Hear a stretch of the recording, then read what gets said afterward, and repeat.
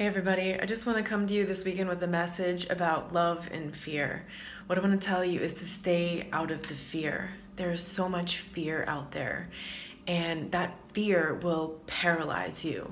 You know, evil feeds off of fear. So if you have a lot of fear, you attract evil and the fear will literally it becomes like contagious to everything around you. It pollutes the energy around you the universe the ether around you. And and people tune into that you know? And i know it's really hard because there's like so many messages coming at you constantly whether it's in the media or maybe it's coming from your family and friends because they're afraid or there's just always these messages of fear you know? And if you've been in an abusive relationship you know that that was a tool that that abusive person used. They manipulated you through that fear you know fear of, of losing something fear of something happening you know these sorts of things. And and and so that fear is what you got to get out of that state because that state will just it will keep you stuck and you know i really do believe that there there is a connection between human emotion and the weather. Like human emotion is contagious from person to person but i also believe that it really does affect the weather. I've heard so many other people say this too. And you know we're seeing a lot of really crazy weather patterns lately. And you can't just stick your head in the sand and pretend like that's not really happening. Like get on youtube and and just just see what people are putting out there. Like home videos like really freak crazy weather stuff and show sure a lot of that's probably climate related you know climate change related sorry.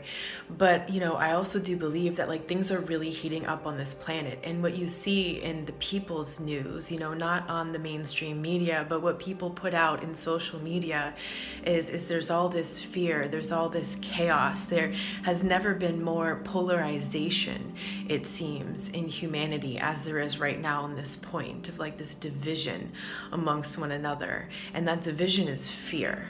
And that fear will make you take action that you wouldn't normally take. And that fear will attract negativity to you. And that fear will attract evil to you because evil feeds off of fear.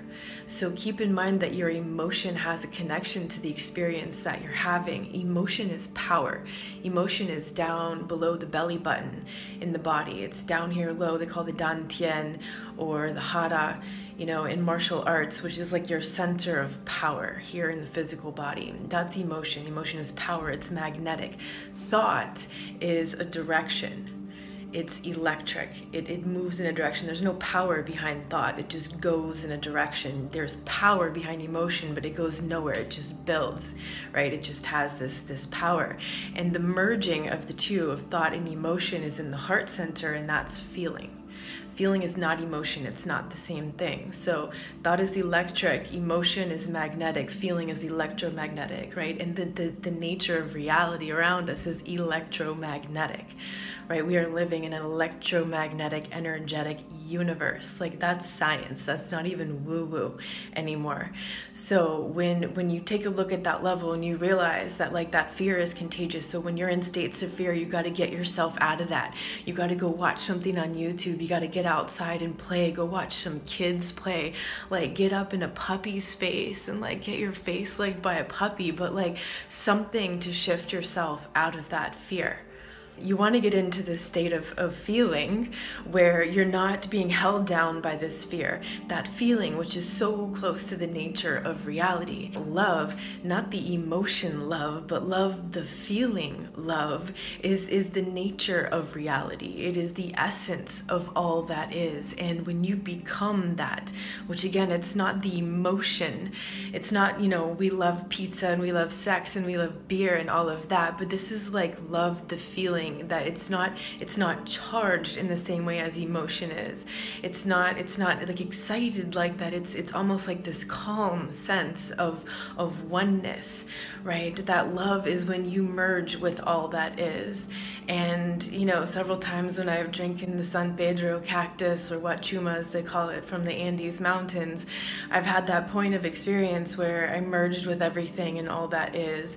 And i had this experience in a near death experience as well where I just became part of all that is and I was everything yet no thing because I was none of that yet all of that just connected in one with all of that and and that feeling that's there you just i don't know i just felt like it was like it's love in every cell in every molecule that exists is this love it is the nature of who we are. So don't let them fool you. Don't let them lead you astray. When you start hearing that fear propaganda around you, and, and it might just be coming from someone unconscious who doesn't realize that it might not be intentional.